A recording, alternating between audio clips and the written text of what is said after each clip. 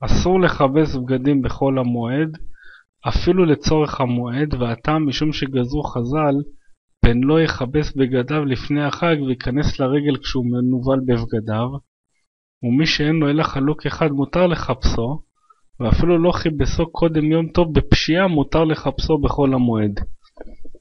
מותר לכבס מגבות שמנגבים בהם ידיים ומתלכלכים תמיד, וכן מגבות שמסתפקים בהם אחר רחיצה, ויש אומרים שכעת יש להחמיר בזה מכיוון שגם בשאר ימות השנה אין מחליפים אותם אלא משבת לשבת.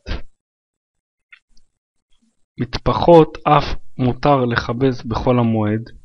מותר לכבס את הסדינים ומצעי המיטות בבתי מלון ובבתי חולים, וכל שכן את שאר בגדי הרופאים והצוות הרפואי.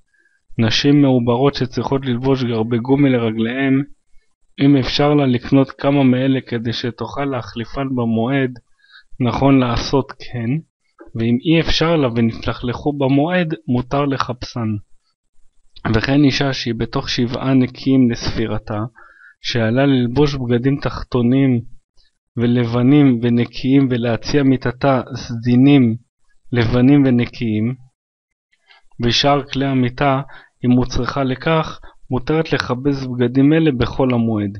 וכן מותר לכבס בגדי קטנים, מפני שדרכם להתלכלך תמיד בעפר ובטיט, ומכל מקום אם מחפשם בידיים, לא יחפשם אלא אחד אחד מה שנחוץ ביותר.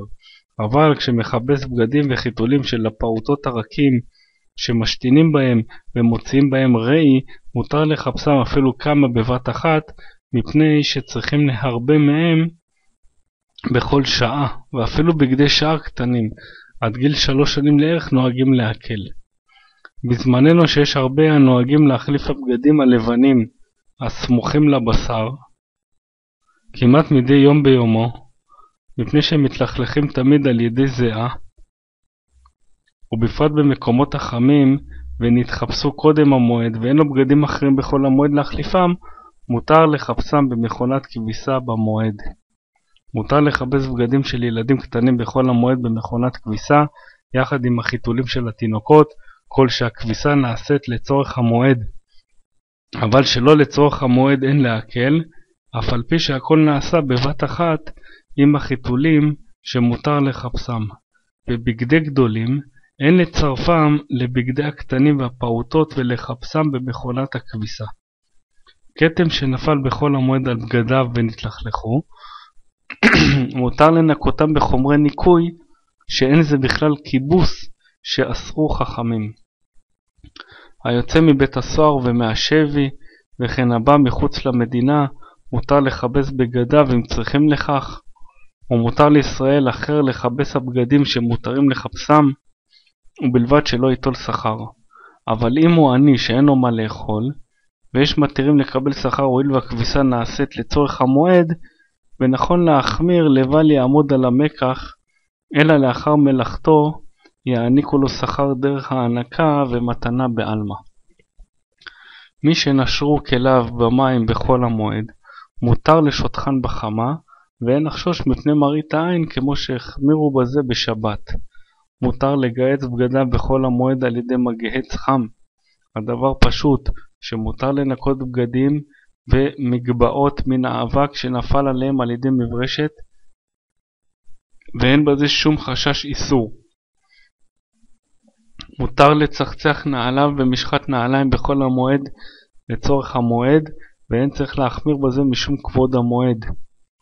המנהג פשוט אצלנו להתיר הדחת ושטיפת הרצפה בכל המועד, ושלא כדברי המחמירים, ואם הלכה רופפת בידך פוק חזה מאי אמה, דבר שהכל עושים כן לכתחילה ואין פוצה פה, ובמקומות שנהגו להחמיר יש להקל להם לשטוף הרצפה לכבוד יום טוב האחרון. מותר להביא בכל המועד מבית האומן לביתו כלים שהם לצורך המועד, כגון קרים וקסתות וצלוחיות וכיוצא בזה, אבל שלא לצורך המועד אין מביאים. בזמן הזה מותר לפנות האשפה מן הבית או מן החצר, להובילם אל כלי האשפה שמחוץ לחצר, ואפילו אם יכול להחזיק האשפה בשקיות ניילון באופן שלא יהיה בביתו ריח, אף על פי כן מותר להוציאם החוצה אל כלי האשפה, ומותר לעובדי העירייה לפנות הזבל ולסלק פחי האשפה מצידי רשות הרבים, שזהו בכלל צורכי רבים שמותרים במועד. ברוך אדוני לעולם, אמן ואמן.